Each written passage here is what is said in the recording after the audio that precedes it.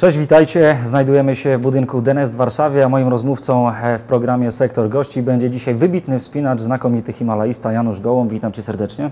Cześć. Rozmawiamy w wyjątkowym dniu, dlatego że dosłownie kilka godzin temu wróciliście z wyprawy K2 Ski Challenge, wyprawy, która zakończyła się e, sukcesem, niebywałym wyczynem Andrzeja Bargiela, który zdołał zjechać na nartach z wierzchołka K2, dokonał tego e, takiego wyczynu po raz pierwszy w historii. Jak to skomentujesz? Wyczyn jest niebywały.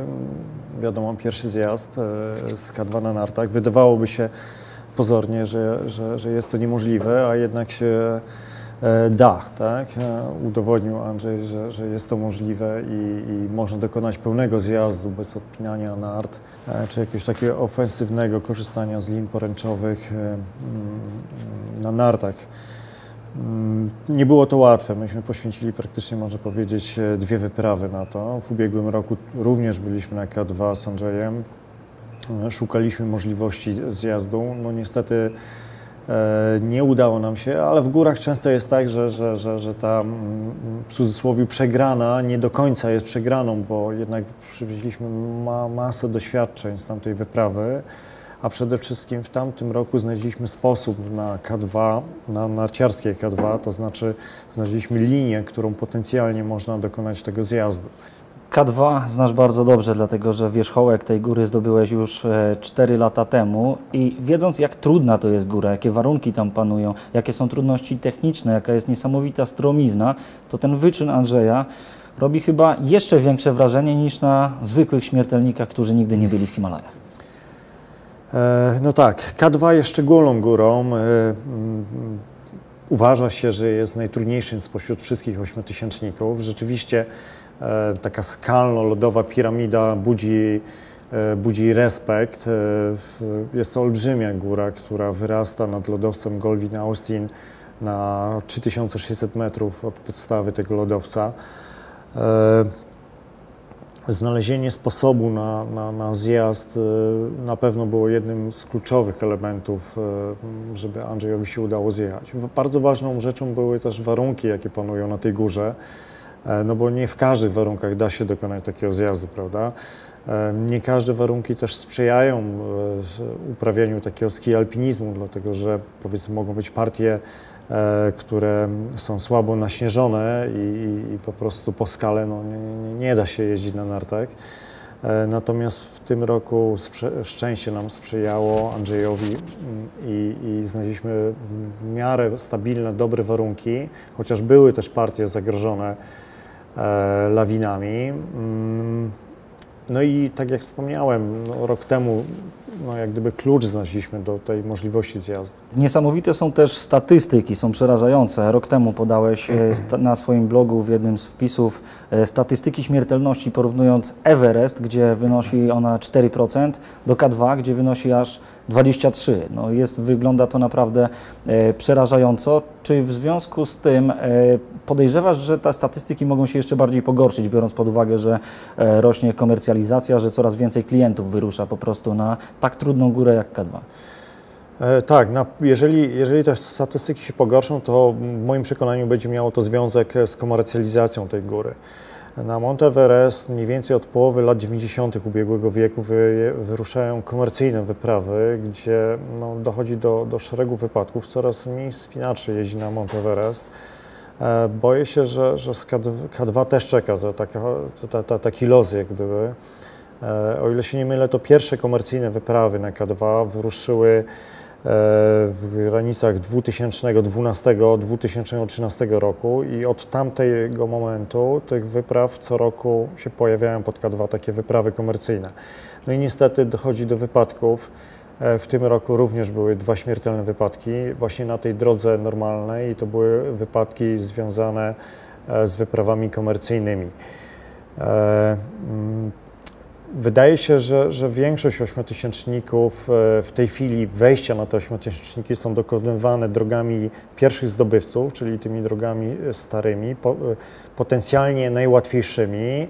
I te drogi stają się jak gdyby atrakcyjnym celem dla, mm, my to nazywamy turystów takich wysokościowych, czyli to są ludzie, którzy nie do końca są przygotowani alpinistycznie, nie mają, nie, nie odebrali jak gdyby rzemiosła alpinistycznego, nie, nie, nie szkolili się w tym celu, natomiast mają marzenie, żeby wejść na tak wysoką górę i są agencje, które oferują takie usługi i korzystając z aparatury tlenowej, no wchodzą. No w tym roku też na K2 chyba padł rekord, bo chyba na wierzchołku się znalazło aż 60 osób, przynajmniej takie słyszałem pogłosy. A jak zapamiętałeś zdobycie tego szczytu K2 w 2014 roku? Tak, myśmy wchodzili w specyficznych warunkach, e, mianowicie e, byliśmy pierwszą wyprawą, która się pojawiła pod K2 i, i byliśmy sami na tej górze i byliśmy zaangażowani w poręczowanie drogi, w ubezpieczenie jej linami. E, w międzyczasie pojawiły się komercyjne wyprawy, które po, częściowo po tych naszych linach, tak, bardzo szybko się zaklimatyzowały do poziomu, od którego już potem idą na tlenie. Wobec czego dwa tygodnie wcześniej stanęło chyba około 30 osób na szczycie, a my dalej nie byliśmy zaklimatyzowani, bo, bo, bo jednak bez aparatury tlenowej troszeczkę to idzie wolniej. E, ale co to spowodowało, że, że, że w końcu zostaliśmy znowu sami na tej górze. E, jako ostatnia wyprawa w sezonie weszliśmy na wierzchołek. Na szczycie stanął, dołączył do nas Bułgar Bojan Petrow. E, no i mi się udało stanąć i Marcin Kaczka. E, Czy dla Ciebie to był taki jeden z momentów w Himalajach i Karakorum, w których e, odczuwałeś największą satysfakcję ze zdobycia tak wysokiej i tak trudnej góry? Trudne pytanie, bo mm, e, na pewno K2 jest mm, górą, z której się można cieszyć, że, że, że, się było na niej.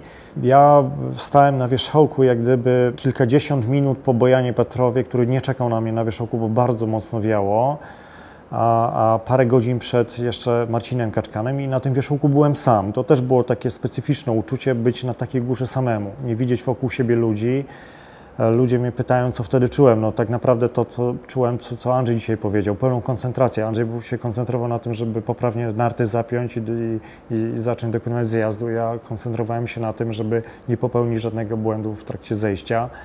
E, czułem pewne odosobnienie. No jest to pewien rodzaj, można powiedzieć, przenośni trzeciego biegu na ziemi, no, ten wierzchołek K2, więc stając na nim sam, samemu, e, Natomiast jeżeli się rozchodzi o, o satysfakcję, no tutaj mm, jednak jestem mm, powiedzmy wspinaczem takim z krwi i kości, tak? Ja lubię się wspinać w skale, lubię się w lodzie wspinać, lubię uprawiać bouldering, e, czy na jakichś takich malutkich formach skalnych, e, więc e, chyba wydaje mi się, że, że, tak, mm, że najwięcej radości z tego wyciągam. Z, z ruchu w skale, z pokonywania jak gdyby praw grawitacji, tak, e, z, z, ze sprawności własnego ciała. Tutaj jest troszeczkę inaczej na takiej drogę, bo ja wchodziłem drogą abrucji, czyli pierwszych zdobywców, jednak jest to związane troszeczkę z takim mozołem tak, z walką, kolejny oddech. Myśmy oczywiście bez tlenu wchodzili, e, ze zmęczeniem. Oczywiście otacza nas piękna przyroda, piękne widoki, ale to jest gdzieś z boku, tak? A raczej człowiek walczy sam z sobą i ze zmęczeniem. A mówisz, że koncentrowałeś się bardzo na zejściu, ale czytałem w jednym z wywiadów Twoją wypowiedź, że to zejście wspominasz jako jedno z najcięższych, najtrudniejszych doświadczeń w górach. Dlaczego tak, tak to wyglądało? Tak, rzeczywiście. E, pięć godzin, ja stanąłem na wierzchołku o 10 rano, parę minut po dziesiątej, pięć godzin później na wierzchołku stanął Marcin Kaczkan i myśmy czekali na niego w obozie czwartym, czyli w tym najwyżej położonym obozie na wysokości 7800 metrów. E, nie mieliśmy tam śpiworów, bo tak zakładała nasza taktyka. To był obóz, gdzie idąc na wierzchołek, tylko żeśmy się zatrzymali, aby ugotować trochę herbaty, odpocząć parę godzin i iść na wierzchołek, co żeśmy uczynili. Natomiast w drodze powrotnej, przez to, że, e, że Marcin jak gdyby tak późno stanął dopiero o 15 na wierzchołku, Marcin się pojawił w tym obozie koło godziny 20, przed 20, e, więc już było za późno, żeby schodzić niżej do obozu trzeciego, gdzie były śpiwory przez mm, całe, całe, całe wyposażenie.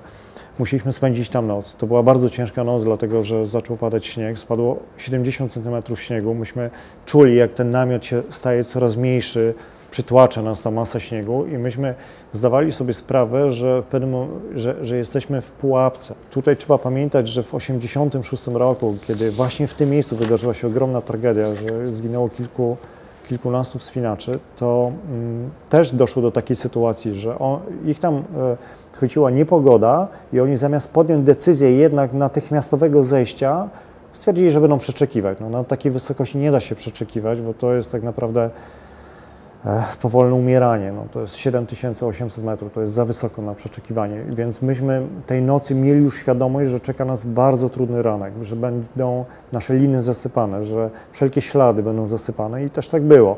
To zejście było bardzo, bardzo trudne, bardzo niebezpieczne, a do tego jeszcze Marcin się źle czuł i, i no fizycznie też mm, trzeba było pomagać, natomiast z każdym, z każdym metrem w dół no, na szczęście do, doszedł do siebie po 500 metrach, gdzieś tam w rejonie obozu trzeciego już, już, już sytuacja nie była tak groźna. Natomiast to, że zejście było bardzo trudne. Ja pamiętam, że jak wstaliśmy, to powiedziałem Arturowi Małkowi, że jak nie znajdziemy pierwszej poręczówki, to wiesz, co to znaczy to, to, to by znaczyło, że my, my, nie potrafimy stamtąd się wydostać, bo byśmy nie wiedzieli, w którym kierunku w ogóle schodzić, bo była kompletna mgła.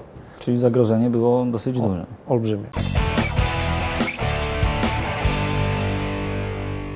Wspomnieliśmy przed nagraniem, że K2 stało się trochę Twoim domem, bo e, teraz wracasz e, z wyprawy K2 Ski Challenge e, z Andrzejem Bargielem, natomiast zimę spędzałeś tam podczas zimowej wyprawy narodowej na K2, gdzie byłeś kierownikiem sportowym.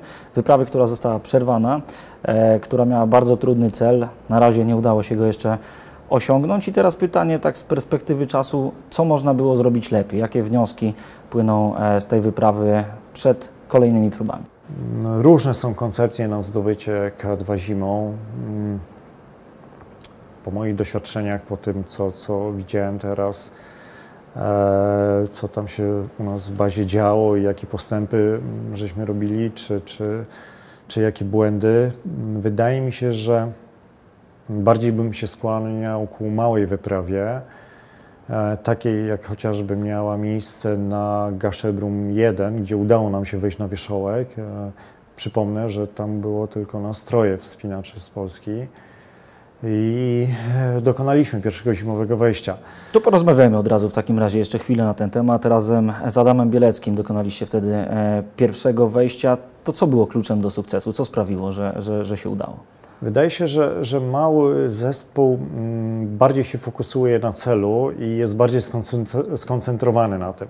Nie ma takiej sytuacji, w której można doznać mizerii duchowej, będąc w bazie, no bo jeżeli, bo, bo, mogę sobie na tą mizerię pozwolić, ponieważ są koledzy, którzy może akurat tego dnia pójdą e, za mnie do góry.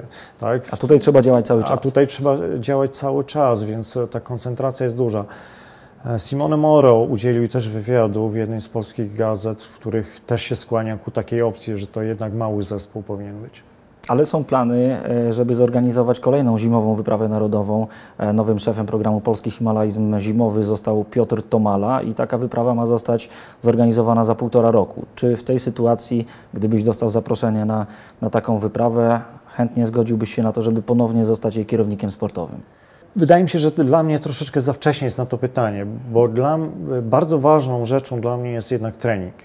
Tak jak my teraz z Andrzejem działaliśmy, było to możliwe. No, słyszeliśmy, że Andrzej ma fenomenalną wydolność, wręcz można by powiedzieć wybitną. E, możliwością chodzenia z Andrzejem e, było tylko trening. Jak, jak gdyby no, bez treningu nie mógłbym z Andrzejem, nie nadążyłbym, nie sprostałbym e, E, tej jego wydolności po prostu, wobec czego tak samo się to przekłada, wydaje mi na, się na zimę. No, mógłbym pojechać na taką wyprawę pod kilkoma warunkami. Jednym z tych warunków byłoby możliwość e, trenowania i przygotowania się do tego dobrze, bo na pewno nie chciałbym jechać tak, jak to było właśnie na Gasze Brumie, że, że, że nie za bardzo byłem wtedy wytrenowany i bardzo ciężko zniosłem tam wyprawę. Czy w tej sytuacji byłeś trochę zaskoczony, że udało się Wam zdobyć szczyt i to jeszcze zimą, dokonać pierwszego zimowego wejścia na Gasherbrum, bo Ty byłeś wtedy po ośmioletniej przerwie chyba w ogóle we wspinaniu, tak? tak. To była przerwa spowodowana śmiercią, śmiercią przyjaciela. przyjaciela, tak. E, rzeczywiście. Osiem lat nie byłem w górach wysokich wtedy. Ta absencja była wynikała po, po stracie kolegi, e, przyjaciela północnej ścianie Hantengri się wypadek wydarzył. Owszem, wyjeżdżałem w Tatry, wspinałem się aktywnie, ale w górach wysokich przez 8 lat nie byłem. Czy byłem zaskoczony, że myśmy weszli? Nie, nie byłem, dlatego że jednak wyjeżdżając z góry jestem pozytywnie nastawiony. Tamta wyprawa była rzeczywiście nowym doświadczeniem, bo rzeczywiście w tych Himalajach zimą czy w Karakorum jest bardzo zimno. E, I, I, to obcowanie z zimnem nie przez parę godzin, nie przez dwa dni, trzy, tylko przez dwa miesiące, no jest to dość uciążliwa sprawa. Natomiast technicznie do wspinaczki na Gaszebrum ja byłem świetnie przygotowany, pomimo tego, że, że nie byłem tyle lat w górach wysokich, dlatego że to jest troszeczkę jak z jazdą na rowerze. No, pewne pule doświadczeń, które się zdobywa poprzez lata wspinania, tego się nie, nie, nie, nie traci. Nie, nie gubi się tego, wobec czego ta umiejętność wspinania to na pewno mi tam dużo pomogła. Ty jesteś wspinaczem, który słynie e, z tego, że dokonuje niesamowicie trudnych technicznie e, przejść różnego rodzaju drogami w górach na, na całym świecie. Sam byłem kiedyś na jednej prelekcji, którą prowadziłeś, pokazywałeś to wszystko, robią, robią naprawdę niesamowite wrażenie. Te, te, te potężne, pionowe, e, skalne ściany i z tego, co wspomniałeś przed nagraniem, teraz chciałbyś się właśnie na tym skupić. Rzeczywiście mamy jakiś projekt, rozmawialiśmy rozmawialiśmy z Marcinem Tomaszewskim e, o tym, aby pojechać zimą w Karakorum na turnie Trango. To jest taka koncepcja, to są olbrzymie ściany. Nigdy zimą się nikt na nich nie wspinał, ale to jest coś takiego, jak powiedzmy kiedyś Ryszard Kowalewski, Tadeusz Piotrowski pojechali po raz pierwszy zimą wspinać do Norwegii na tro troli. Też się kiedyś na ścianach troli nikt zimą nie wspinał. Polacy Pierwsi tego dokonali. Okazało się, że ta ściana jest bardzo wymagająca alpinistycznie. No, to dzisiaj jest bardzo cenne każde przejście zimowe ściany troli. Być może czas zacząć się nie tylko chodzić w Himalajach zimą czy w Karakorum, ale również wspinać się na tych dużych ścianach. A Marcin Tomaszewski, o którym wspomniałeś, jest jednym e, ze wspinaczy, z którymi na początku, przez lata 90. i na początku XXI e, wieku e, tworzyliście tak zwany Dream Team, dokonywaliście niesamowicie trudnych przejść, które, które do dzisiaj są uznawane jako olbrzymie, olbrzymie wyzwania i osiągnięcia. To które z tych przejść gdybyś miał wskazać tylko jedno, e, uważasz dzisiaj za, za najtrudniejsze, za najbardziej spektakularne? Być może właśnie ściana troli zimą. E, przejście mm, po 22 latach, e, pierwsze zimowe przejście drogi e, Drummondów, droga się nazywa Archwall. Spędziliśmy w ścianie 12 dni non-stop. Było to bardzo trudne przejście. Wtedy to była najtrudniejsza droga, taka wielkościanowa w Europie. Być może nadal ona to nią jest. E, owszem, byłem więcej, no, no, wspinałem się w Himalajach, byłem w ścianie Kedardą, w której 15 dni non-stop żeśmy się wspinali. Też bardzo trudną drogę wytyczyliśmy, ale jednak ta daleka północ Norwegii chyba największe wrażenie na mnie zrobiła.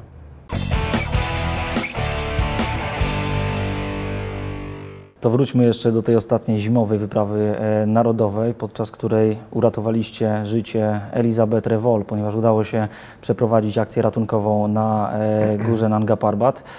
Jak oceniasz tą akcję? Najpierw organizacja, a potem jej przebieg e, i to, że Denis Urubko i Adam Bielecki zdołali dotrzeć do niej i odnaleźć ją e, w nocy. E, tak, e, rzeczywiście chłopacy tam polecieli. Tu trzeba, trzeba jasno powiedzieć, że jak Krzysiek, Krzysiek Wielicki, kierownik wyprawy, zapytał się, kto leci, to w bazie się wszyscy zgłosili polecieli ci chłopcy, którzy wtedy w, tam, tym tamtym momencie mieli najlepszą aklimatyzację, czyli Denis i Adam. To była decyzja Twoja i Krzysztofa, tak? Nie, mnie wtedy w bazie w ogóle mhm. nie było, bo byłem wtedy w obozie pierwszym. Mhm. E, więc to troszeczkę zapadało poza mną, e, ale wiem to z relacji, że się wtedy wszyscy tam zgłosili. No wiadomo, że z najlepszą klimatyzacją w, w tym momencie w bazie był Adam i, i Denis. E, poleciał ratownik medyczny, i pomoc tam w postaci Piotrka Tomali.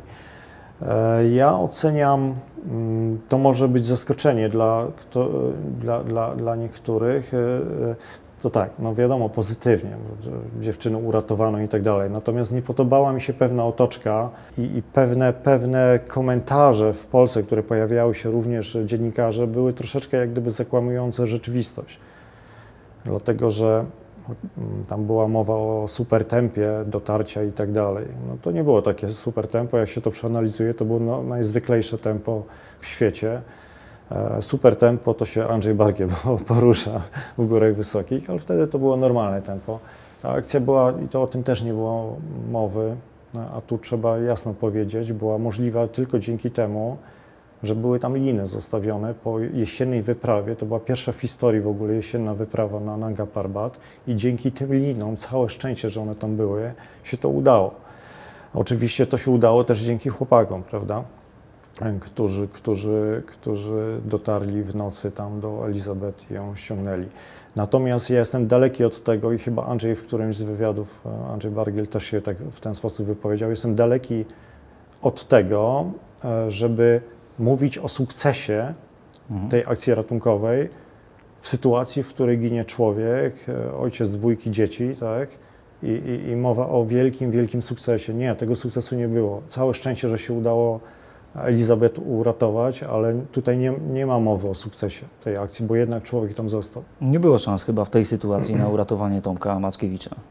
Wydaje mi się, że nie że, że, że to mm, tam były e, rozmowy, mm, czy, czy jest możliwa taka akcja przy pomocy helikoptera z długiej liny, e, przy, przy użyciu długiej liny, czy, czy, czy da się tam desantować, no ale to tu trzeba mieć świadomość też, że to są piloci wojskowi w Pakistanie i oni nie są szkoleni do takich akcji ratunkowych. Mm, e, a w konsekwencji chyba pogoda też by na to nie pozwoliła wtedy, jaka tam była na Nanga Parbat. Teraz e, jesteśmy świeżo po wyprawie, wiemy, że na lotoku uratowano właśnie z długiej liny i to też piloci pakistańscy, co uratowali Rosjanina i to, to, to było no, mm, świetne zachowanie tych pilotów, bo niestety była duża obawa, że oni nie podejmą tego ryzyka takiej akcji.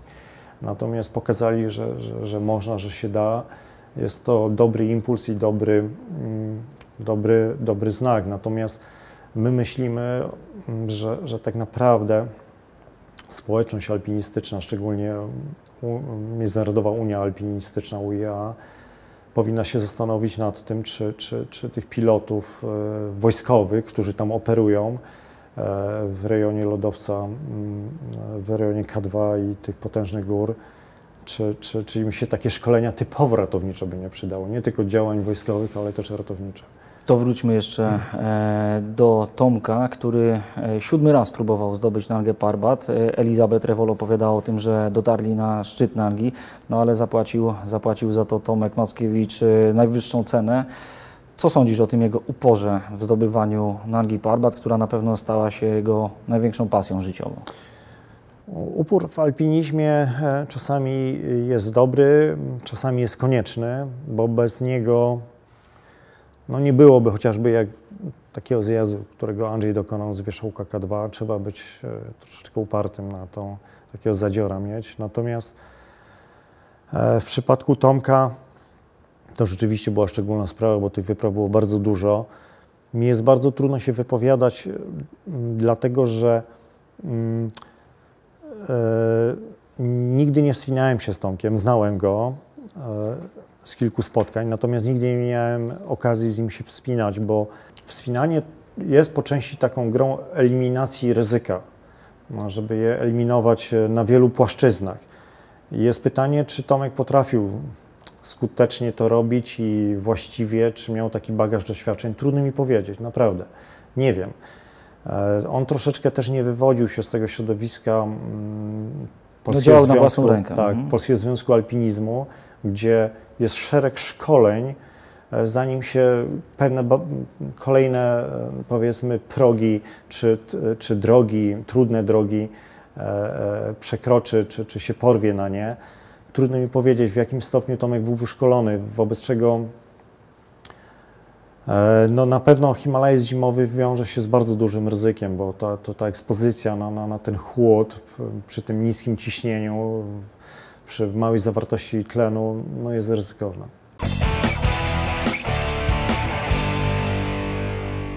Pytanie o Denisa Urubkę, który na tej wyprawie e, na K2 najpierw pomógł bardzo mocno e, w ratowaniu życia Elizabeth Rewol na, tak. na Parbat, a później podjął decyzję o przeprowadzeniu samotnego ataku szczytowego, próbie ataku szczytowego e, na K2 bez Waszej wiedzy, bez Waszej zgody. Czy to było duże zaskoczenie, kiedy dostaliście informację o tym, że ruszył na szczyt sam? Mnie osobiście w tamtym momencie wyprawy już to nie zaskoczyło, dlatego że już wcześniej Denis dawał sygnały takiej niesubordynacji i jak gdyby działania na własną rękę. Jeden z dziennikarzy, który do nas e, przyleciał z telewizji publicznej, powiedział mi, że Denis już na lotnisku przed wylotem powiedział, że jak wejdzie na szczyt, to będzie jego sukces, a nie wyprawy, czyli było widać, że on e, działa bardzo e, jak gdyby, mm, no może nie do jednej bramki będzie grał. Mm, natomiast ja i część ludzi w bazie w tym momencie, jak Denis samotnie poszedł mm, rzekomo w kierunku szczytu, nie odbierało tego jako atak szczytowy, chociaż on tak światu ogłosił, tylko odbieraliśmy to, zaraz wytłumaczę dlaczego, odbieraliśmy to jako mm, wyjście po to, żeby pozbierać swoje rzeczy, które były gdzieś tam rozmieszczone w poszczególnych obozach i żeby je znieść po prostu swój dobytek i wrócić do domu. Natomiast światło ogłosił, że idzie na szczyt. To było kuriozalne, dlatego że wtedy pogody nie było, żeby iść na szczyt, więc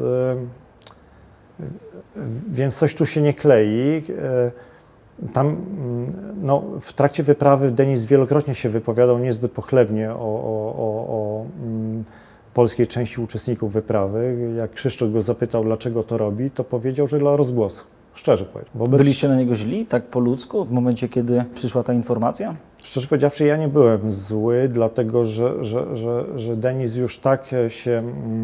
Wyobcował, że trudno już było dla niego, było, było wiadomo, że on już nie, nie działa z zespołem i chce wracać.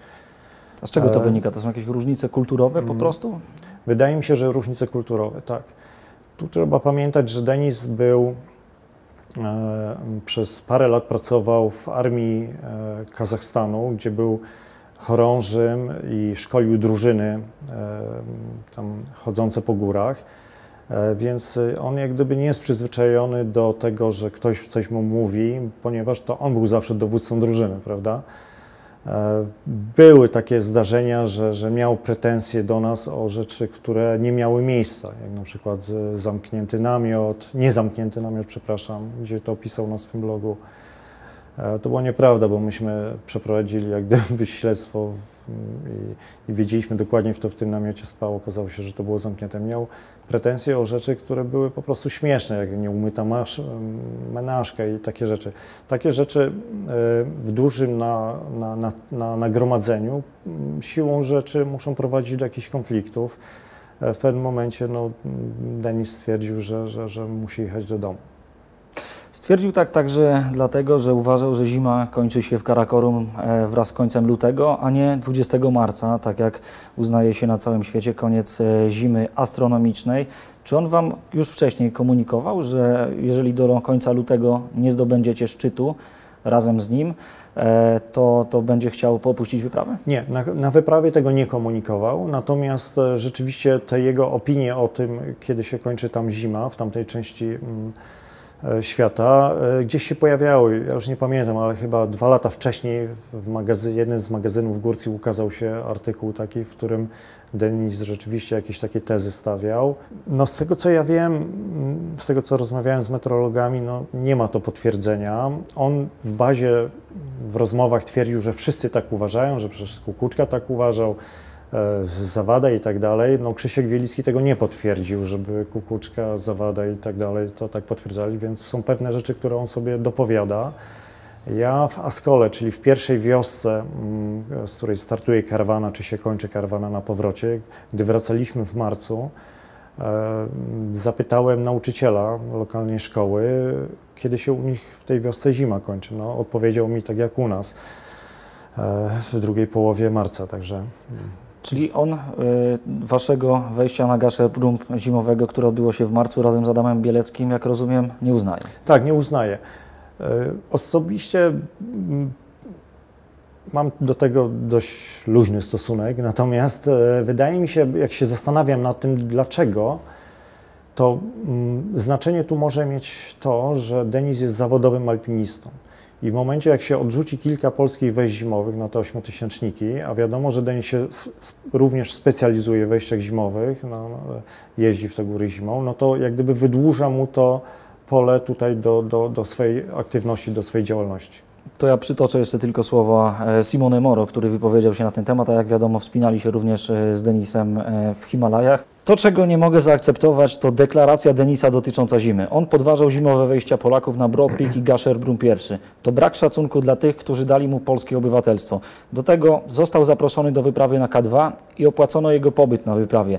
Astronomiczna zima zaczyna się 21 grudnia i kończy 20 marca. Cały świat szanuje tę definicję. Podważanie marcowych wejść jako zimowe jest bardzo głupie. Jak się odniesiesz do tych słów Simone? Powiem tak, że zaobserwowaliśmy, że e, marzec jest bardziej śnieżny na przykład niż styczeń. Chociaż rzeczywiście średnia temperatura może być 2-3 stopnie, 4, może wyższa, ale czy to ma znaczenie, to 4 stopnie, e, tutaj bym się zastanawiał. Mm, jeżeli Denis e, uważa, że rzeczywiście w marcu jest łatwiej, no to powinien podać jakieś liczby. No, jakieś, wydaje mi się, że nauka tutaj to, to ściśle rozstrzyga, kiedy się kończy w tym obszarze e, e, zima kalendarzowa. Natomiast póki co no, skłaniałbym się tu ku słowom Simone. No rzeczywiście tutaj mm, jak gdyby wydaje mi się, że to są, były różnice kulturowe, że on tego nie czuł, że, że, że dostał polskie obywatelstwo, że został zaproszony. On przecież nie pracował na, na rzecz tej wyprawy, a byli ludzie, którzy pracowali trzy lata, żeby ta wyprawa się odbyła. Jak gdyby w ogóle tego nie docenił. Co jeszcze chciałbyś osiągnąć w górach? Ja wspinam się może nie, nie konkretnie dla osiągnięć, bo mm, one nawet mm, może są gdzieś z tyłu głowy, jak się siedzi w domu i planuje. Natomiast jak się już jedzie w te góry, to tak jak teraz z Andrzejem byliśmy. Myśmy nie myśleli o tym, że, że, że, że dokonamy czegoś niesamowitego, tylko chcieliśmy, żeby Andrzej zjechał na nartach. Bardziej mm, tutaj jest jak gdyby działanie e, i to działanie mnie, mnie fascynuje. Konkretny sportowy cel. Tak, konkretnie sportowy cel, realizację tego trudnego celu, to, to, to mnie fascynuje. Więc, więc wtedy się nie myśli o tym, że coś się robi nie wiadomo jakiego i niesamowitego. Myślicie konkretnie bardzo zadaniowo. Tak, zadaniowo i w górach mnie fascynują ludzie, bo jednak to, to, to, to samemu bym się nie wspinał, prawda? Lubię jeździć z przyjaciółmi. E, jest to niesamowita podpora, bo jeżeli ja czegoś nie potrafię przejść jakiegoś odcinka, czy po prostu najzwykle w świecie się boję, czy mam jakieś obawy, to zawsze mam partnera i, i wtedy, wtedy na niego patrzę i mówię, o kurde, dał radę, to może ja dam radę, prawda? E, więc to jest takie działanie troszeczkę jak na polu bitwy, takie kurde, no bardzo, bardzo powiązane. No jest gdzieś ta, ta, ta, ta, ta lina i, i to mnie fascynuje w górach. No to jak najwięcej fascynacji życzę w takim razie e, w kolejnych górskich akcjach. Moim rozmówcą Dziękuję. w programie Sektor Gości był dzisiaj Janusz Gołąb. Dziękuję.